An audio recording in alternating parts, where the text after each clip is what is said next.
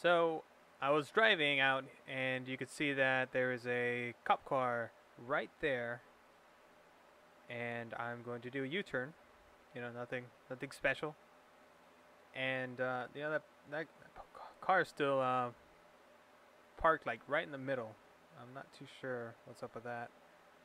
And apparently, he wants to follow now, and that's when I get suspicious, and I'm like, oh, that's probably a cop, because uh, and I'm making sure that the camera is uh, positioned correctly, because I want to want to make sure that my dash cam is recording it, and make sure, you know, I could be like, if he does stop me, I could just be like, oh, I, you know, I don't know what what he's talking about. I didn't do anything.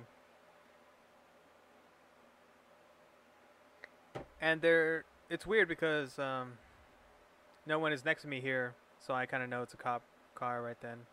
And after about uh, three minute, three and a half minutes, he continues to uh, follow me. But he, uh, since I'm not doing anything wrong, I guess he can't stop me. So he, he changes lanes, and uh, and then I'm going a lot faster than this slow car here in front. And he tr- he tries to change lane again. I I'm guessing he's gonna try and do a U-turn to go back, because he followed. But then uh, this guy red, runs the red light right there, and then that's and that cop notices, and uh, he he's following now.